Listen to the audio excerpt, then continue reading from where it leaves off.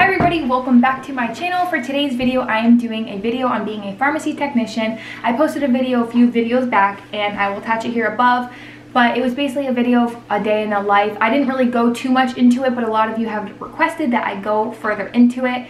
So I want to start off this video by saying I am a retail pharmacy technician. Um, retail and hospital, they're two different things. Um, I hear they're very different. Um, kind of the same gist when you need to know like the federal laws and all of that stuff, abbreviations and things like that. But hospitals do compounding and stuff and then you're bringing medication to patients. You can do IVs, all that. But for pharmacists or for retail, it's um, more like foot traffic like CVS, Walgreens, Rite Aid, all that fun stuff. So for me, I am at one of the big corporations for retail and I am the lead pharmacy technician. I got that position in February and I'll kind of break it down a little bit because I'm still learning every single day. There's so much I still don't know and so much I know and so much I'm learning. So for me, I got offered the position seven months after I was hired and I passed my PTCB exam, which is what you need to become a lead technician. So it's kind of like a manager. So I'm not called the manager, but I'm called the lead tech. Basically, I manage all of my technicians. Any issues they have, they come to me. I tell them where they're going next. Um, I'm up to date on their trainings, all that fun stuff. And like you could technically write them up as a lead tech. I never want to write anyone up. Obviously, if I had to, I would. But so it's basically just a manager position for those of you who may be like, what's a lead tech? So anyways, when I was hired, you don't, it depends on what state you're in. Definitely look into your laws at your in your state. But for me, I just applied and they called me, got hired, obviously. So here you only need to be 18 or older and you needed um, your high school diploma. And um, some places I believe you actually need to be like PTCB certified. Um, like I said, check your state laws. But I applied, got the position. I love the pharmacy, I just want to say that. It is, for me, my store is super, super busy. We're very high, uh, high demand, I think it, that's what it's called. Like, there's times where we feel like, I think daily, I this number might be wrong if someone, one of my coworkers is watching this, but I'm pretty sure it's like 600 scripts a day on like on Monday or something. Weekends are a little bit different, but um, Sorry, I'm watching my puppy, seeing if he's about to use the bathroom on my floor or if he's just like bored because we're about to go for a W-A-L-K. He just sat down. So anyways, um, what was I saying? Oh yeah, so mine is very, very busy. I will kind of break it down for you guys and then towards the end of this video, I'll give you like advice and tips and tricks and all, or what you should know if you're new to the position, etc. So I kind of want to just break down the pharmacy for you guys. So there is different stations. We have pickup, drive-through if your pharmacy has a drive-through, a drop-off station, production one, and production two. So pickup and drive-through are exactly that. People come through the drive-through, the pickup line, and they have prescriptions that are ready to be given to them. So they tell you their first and last name and their date of birth, and you go. On the screen, it'll tell you the medication and the price of it, obviously, and what bin number it's in. In the pharmacy, if you've ever been inside of a pharmacy, you'll see those bins. That's where we keep all of our scripts. So it could be in bin five, and you go in bin five, grab all their scripts, make sure it's the same patient, all that fun stuff. Same thing for drive-through. Those are kind of pretty much the same exact thing. Um, so then we have something called drop-off. And drop-off is any issues you guys have. So if someone has an issue with insurance, they have a GoodRx coupon, um, they want to do a refill, anything like that is always drop off. So pickup is strictly for pickup. That's when you know something is ready, not because you want to do refills and stuff. So we have our drop off station and with drop off, we have something called QT, which is Q triage. So that is all of the incoming scripts that we have. So anything a doctor sends, it goes straight to the QT. And from the QT, that goes to the pharmacist, which is QV1 and QV2. This, it can get kind of difficult. So if you want to take notes, you guys can take notes. Cooper, Cooper, hey, no.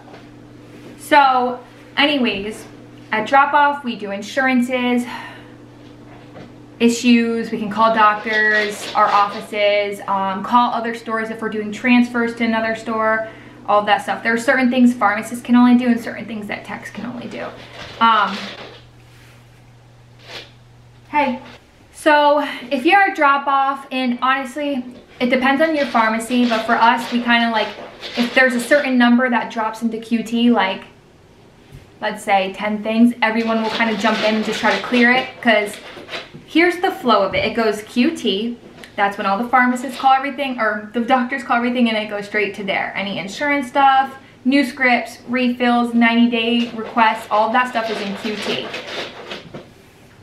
Cooper, that's all in QT. So a tech or a pharmacist will do QT and that's where the medications are. Um, you, I'm trying to explain.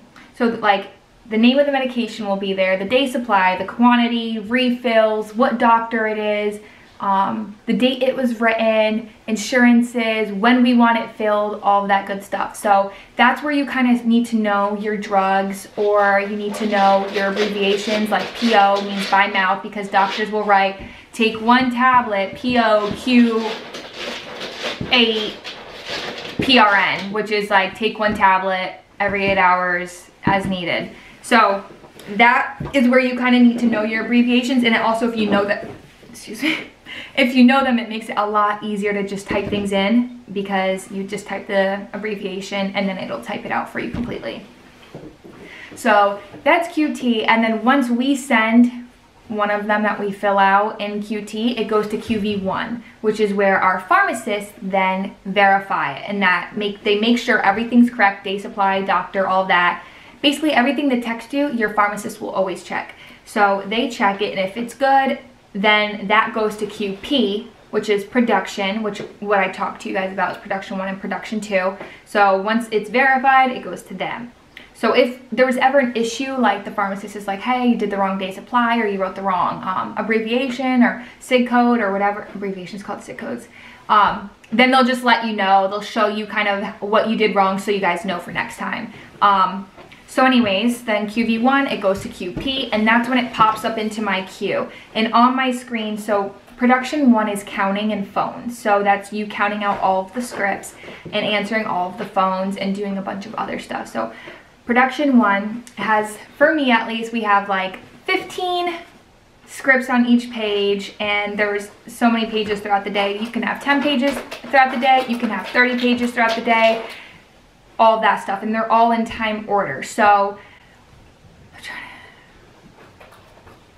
basically everything's in time order and you print it line by line and your production two person goes and has the labels, goes in the aisles, finds the right NDC, the right drug, all that. They put them in the basket. They organize the baskets for you, and then you count. So if I'm counting right now, I'm on the phone, I have all my basket stack here, I'll take it, scan it, and you know, count it out in the Kirby, all that fun stuff.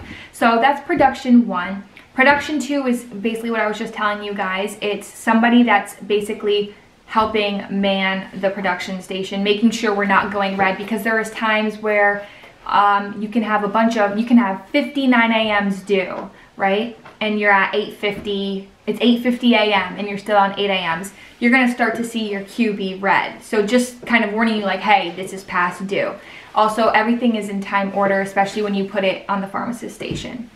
So production two is basically just pulling the drugs. They're pickup two if a pickup two is needed, depending, like I said, all this kind of depends on the pharmacist and where you work, or they are drop off also. So um, basically just helping attack production and helping other, helping assist other stations. Um, drive-through is kind of the same thing. Like I was telling you guys earlier, it's the same thing as pickup. So we also have something called QV2. QV2 is once I finish counting everything out, scanning my credentials, and putting that on the pharmacist for the pharmacist to check. It's them just basically checking the pills, making sure it's the right pills in the bottle, the right, um, the right patient, just making sure everything's good and that's when they bag it and they put them in little bins and pickup person will put the bins away throughout the time or throughout their shift as they have the uh, oh, as they have the time to do that.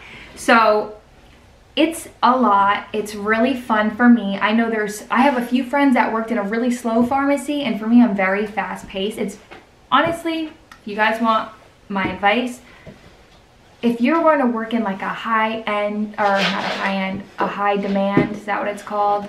high demand pharmacy. Like so many people have worked in the pharmacy and ended up leaving after a month, two months, or just never came back because it is very stressful, especially if you're working in a high-end place like I am. Um, for our store, it's drive-through, you're stuck at drive-through. So we like to switch stations every two hours. Um, so like if I'm on production one for two hours from 8 to 10, 10 to 12, I'll go to do to pick up. And then we'll kind of just rotate everybody. Whoever comes in we'll rotate. We kind of never want to make sure someone's on the same station. Sometimes though it happens that we are on the same station for a long time, whether we have call outs, we're super busy, whatever the situation may be, but we always like to try to switch as much as possible. So, um, the pharmacy, I love it. I'm a very fast-paced person. I've worked in restaurants before. I'm like that go, go, go person. But for some people, it's just not for them because you do have customers that are, um, hey, hey, Kid, silly, you want a treat?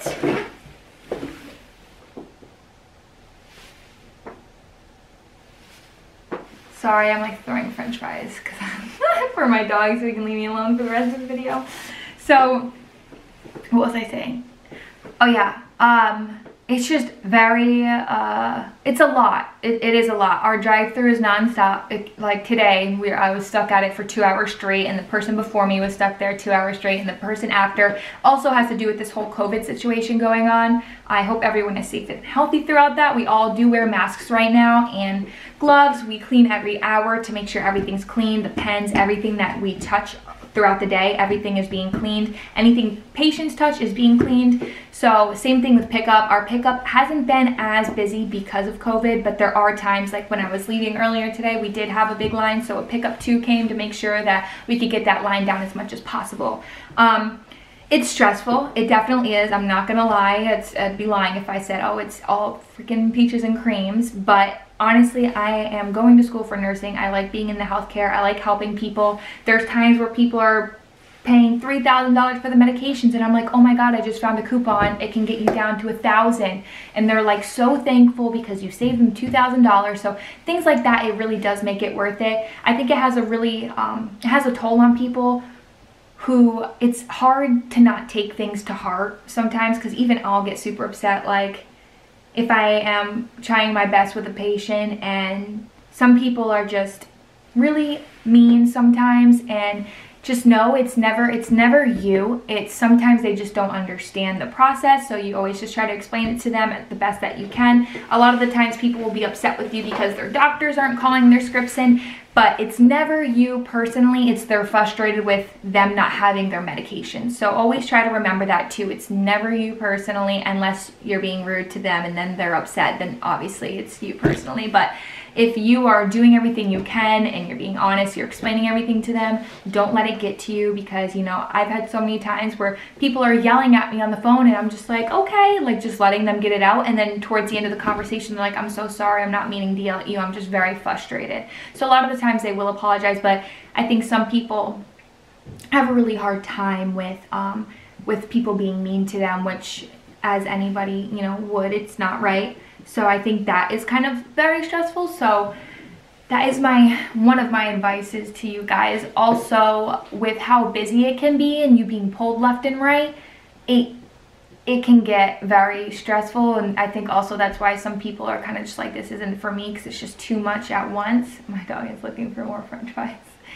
So my best advice with that is just go at your pace, do what you can. If you're being pulled left and right and you are exhausted, maybe say something to whoever is directing you, like if it's too much or if I'm very about, hey, speaking up. So if you feel like I'm having a really hard time with this, can you just help me with this? Or don't try to feel like you have to man what you're doing. You, like you have to perfect it. If you don't know, ask. That is like one of my things I always tell all my techs. I don't care how busy we are. We could be a million people in line, five million people in the drive through me on the phone. But if you have a question, ask me. So the second I get off the phone, you ask me. It doesn't matter if I seem stressed or if I or if you don't want to bother anyone because we're so busy, I always say ask questions because at the end of the day, if you're not going to ask that question, who is that affecting? Is that affecting the person you think you're gonna bother or is that affecting you and your knowledge? So, do you guys see my dog right now? Do you wanna sit? Come on, come here. Whoa. Right. He wants to join because he's bored. We're about to go on a walk. But anyways, always ask questions. And if you don't understand it, make sure you do understand it after asking. Or if you do it and you don't understand and then it comes up again, you know, just ask the question. That I'm so big on that is always ask. And I'm even when I started, I asked so many questions. I was probably so annoying. Like I know I probably annoyed so many people, but it's like I don't understand and I, I want to understand. So that is definitely my advice to you guys is if I know a lot of people have come up to me like, what is it like being a pharmacy technician? I have really high anxiety. Um, how do you think I would do in the field? And I mean, I think I have anxiety too. like, I, it is very stressful, but if you just breathe, you can, for us at least, for my company, you get a 15 minute break and then a 30. So you can use both of those depending on how long your shift is. Um, so it's just if you know how to cope with your anxiety in like stressful situations, I think it will be okay for you.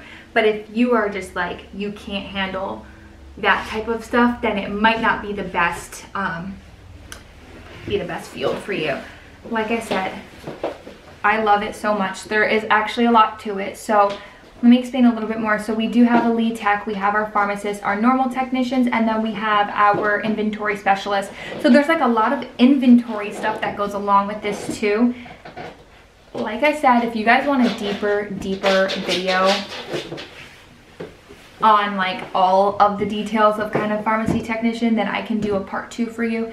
But we have inventory stuff, so that's like if things are out of stock, then we have to order it for the next day. We also get our truck. So we have cycle counts to do. We have outdates. So every month we are pulling any expired medications coming up that next month. So we pull all those off the shelf. So making sure none of our customers are getting any of that expired medication. So it is a very important role. I love it. Um, but yeah, there's it, it, it's a lot. It is definitely a lot.